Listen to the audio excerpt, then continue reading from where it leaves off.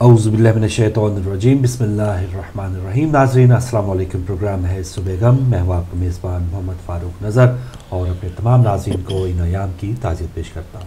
اعوذ باللہ من الشیطان الرجیم۔ بسم اللہ الرحمن الرحیم۔ السلام علیکم ناظرین میں ہوں سمرین سید۔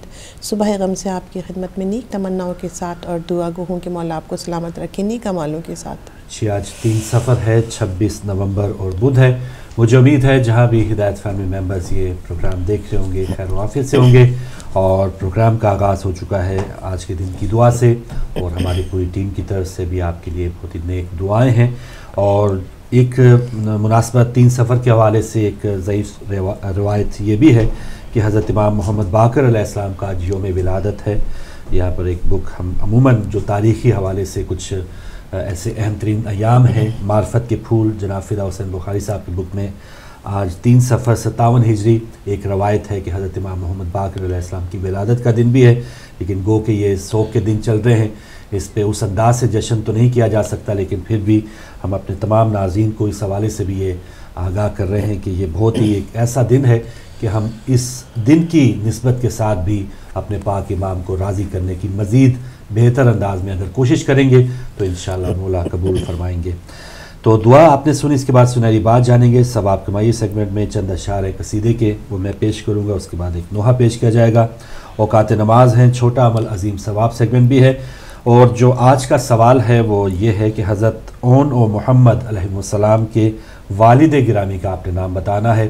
حضرت پاک بی بی زینب سلام اللہ علیہ آپ کی والدہ ماجدہ ہیں، لیکن آپ نے حضرت اون و محمد علیہ السلام کے والد گرامی کا نام بتانا ہے۔ ٹاپک ہمارا کل والا ہی ہے۔ ایک بار پھر ہم سلام پیش کریں گے۔ وفاداری حضرت عباس علمدار اور پاک بی بی فضا سلام اللہ علیہ کو۔ اور ایک اور اعلان ہمارے ان ناظرین کے لیے کہ جو پورا مہینہ ماہ محرم الحرام اور سفر کے آغاز تک بھی فی الحال ان کو موقع نہیں مل پایا یا محض ایک بار ان کی کال ملی ہے، تو آج کچھ سیگمنٹس کے بعد جب ہم کالز کھولیں گے، تو گیارہ بجے تک میں اپنے تمام ان ناظرین سے میں فی الحال معذرت چاہوں گا کہ آپ ان لوگوں کے لیے وہ ٹیلی فون لائنس ذرا کھلی رہنے دیجیے گا کہ جو پورے ماہ محرم اور یہ سفر کے پہلے چند دنوں میں بھی ان کی شاید ایک بار کال ملی ہے یا ایک بار بھی کال نہیں ملی۔ تو ہمارے جو ریگولر ویورز ہیں وہ گیارہ بجے کے بعد یعنی جو پہلی بریک ہوگی اس کے بعد آپ آئیے گا۔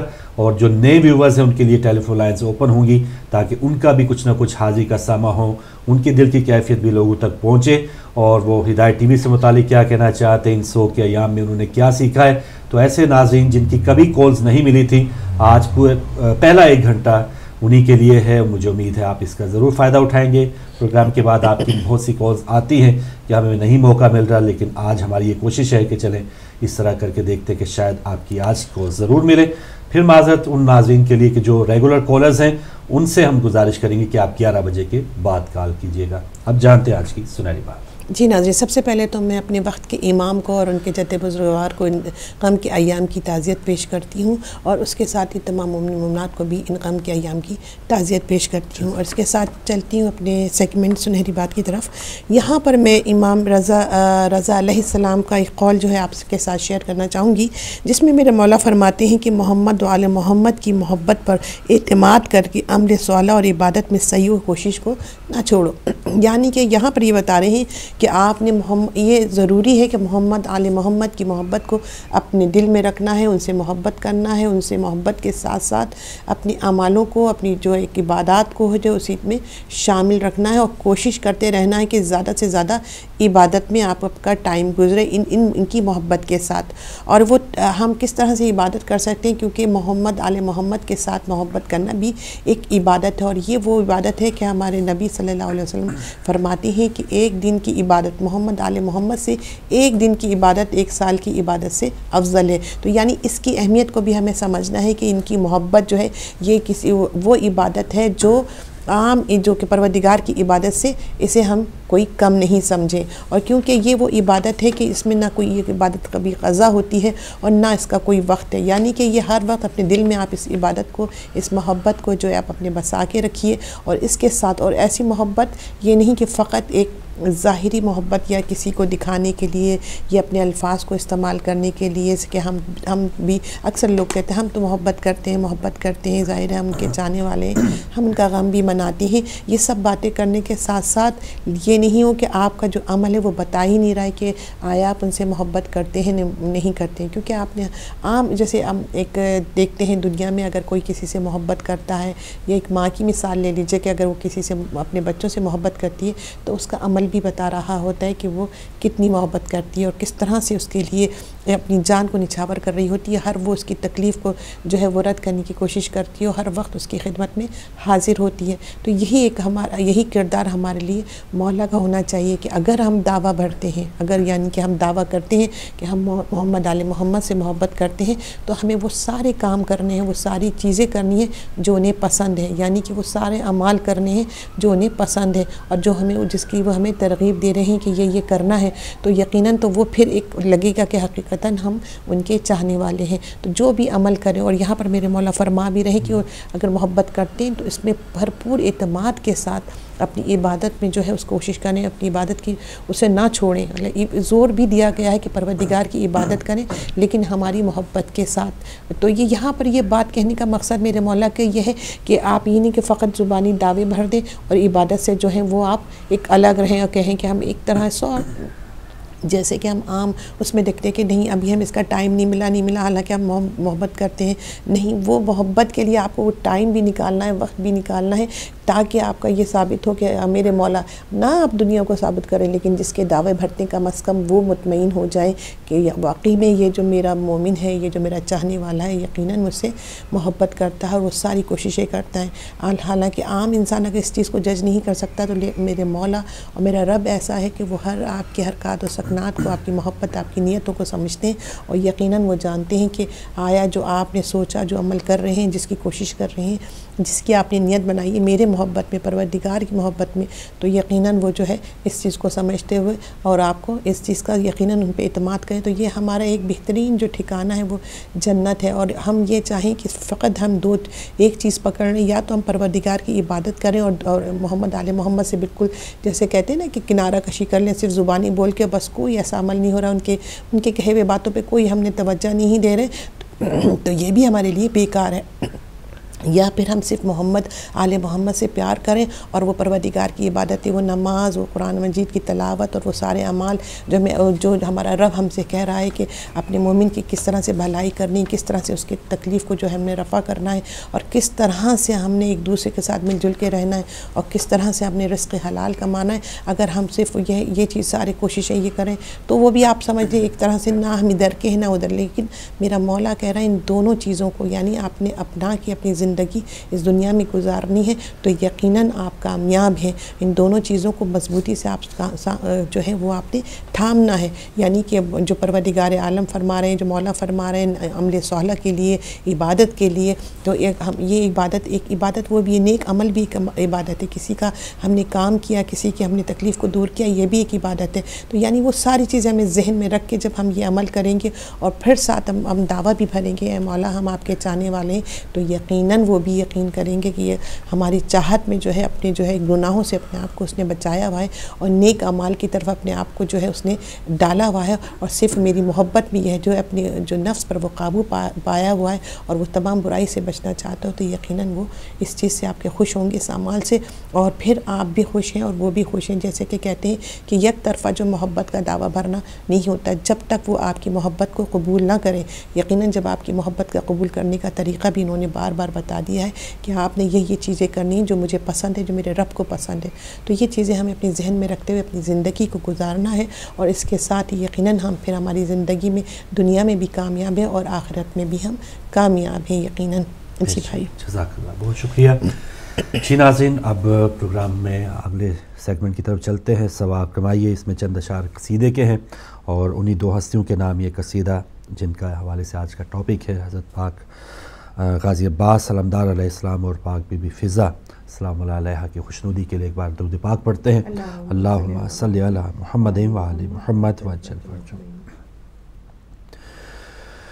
یہ جو فضان کی نوکری ہے یہ جو فضان کی نوکری ہے شہنشاہی سے بھی قیمتی ہے۔ شہنشاہی سے بھی قیمتی ہے۔ حبش کو چھوڑ کر اسے منہ موڑ کر، حبش کو چھوڑ کر اسے منہ موڑ کر۔ سیدہ کی یہ جو فیضان کی نوکری ہے۔ دہر میں دیکھ لو ہر جگہ پر۔ بہت مشہور ان کی وفا ہے۔ ایک ہے عباس اور ایک ہے فیضا۔ فرق ان میں بھلا کون سا ہے؟ مجھ سے پوچھو تو۔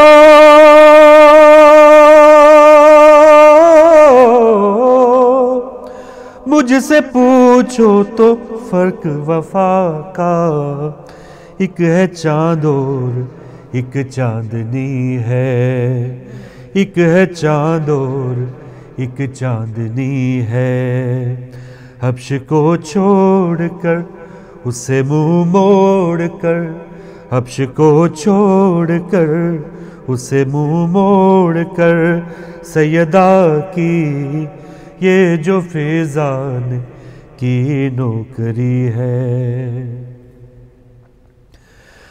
اشک بہ بہ کے ہیں یہ بتاتے، یہ مقام عقیدت ہے کیسا؟ کوئی دنیا میں مجھ کو بتائے۔ مرتبہ ہے ملا، کس کو ایسا، اس کو کس نام سے؟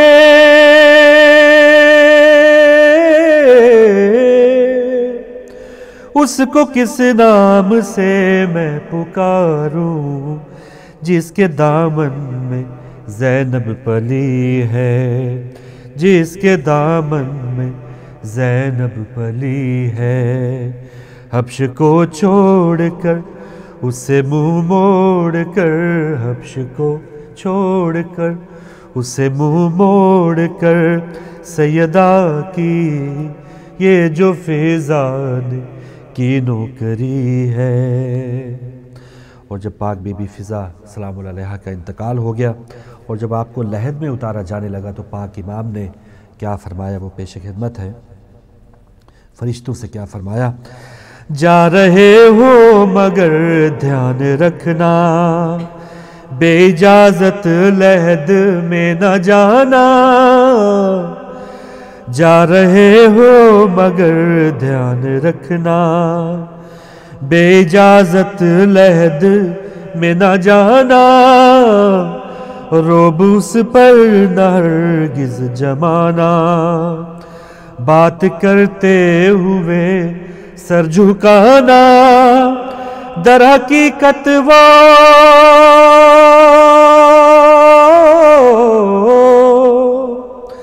در حقیقت وہ میرے نبی کو فاطمہ کی طرح لاڈلی ہے۔ فاطمہ کی طرح لاڈلی ہے۔ حبش کو چھوڑ کر، اسے منہ موڑ کر۔ حبش کو چھوڑ کر، اسے منہ موڑ کر۔ سیدہ کی یہ جو فیضان کی نوکری ہے۔ شہنشاہی سے بھی قیمتی ہے۔